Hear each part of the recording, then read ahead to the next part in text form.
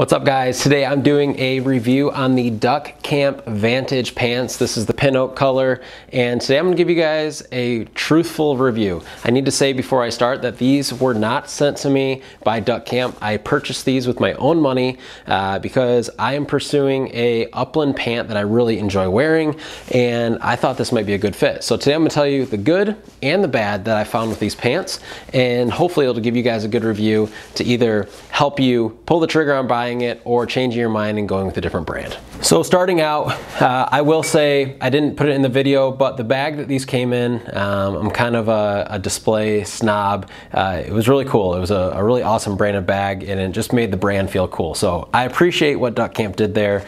Um, their branding is definitely on point. Uh, it came with a really nice tag. Again, these are the Vantage pants. Now, when I put these on, you'll see what I'm talking about, but I've already tried these ones on. Um, there's a couple features I really like. The first feature I really like is this waistband. It has the Duck Camp logo all the way around it on all four sides. I'm not sure if you guys can see that or not, um, but I think they advertise it on the page as well.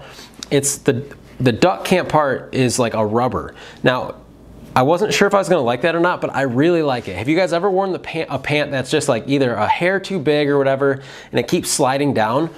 The one thing that these pants don't do is slide down, and it's because of this. It's not too sticky. You almost don't even realize it's there, but what you, you do realize is that the pants are secure, um, and it almost makes you feel like you could wear it without a belt. So that is a, a really cool feature I do like about this specific pant.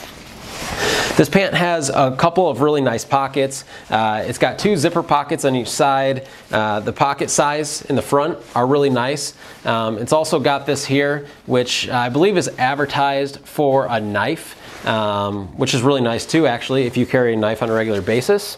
And then the back side, it's got one zipper pocket and one uh, button pocket here, or one, uh, I'm sorry, Velcro or uh, magnet pocket here, um, which is a pretty cool feature. The magnet pocket's really nice. Um, you're seeing that start to happen a lot more, uh, especially with like bags and stuff. So I'm gonna try these on, and when I try these on, I'm gonna tell you my biggest con to these, um, and you guys will hopefully understand. Uh, before I dive in, I am 5'11", pretty much between 175 to 180 pounds is what I vary. Uh, my waist, what I wear with majority of my pants is a 32 waist and a 32 length.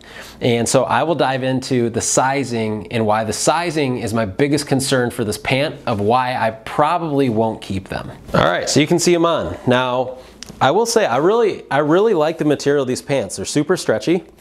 Um, they don't fit bad. So I don't want to have this come off as it's a, a, bad review. It's not at all. Like I said in the prior clip, I'm a 32 32, so 32 waist, 32 length. These are 32 regular size. Um, on the website, it said, I think it was if you're 6'2 or taller to order the talls.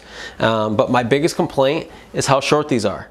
So these, um, and these are even pulled down a little bit. If I actually wanted to have them where they're at, like up on my waist, where I feel comfortable, they feel like I could potentially wash these once and they might shrink even just a little bit where they wouldn't be wearable.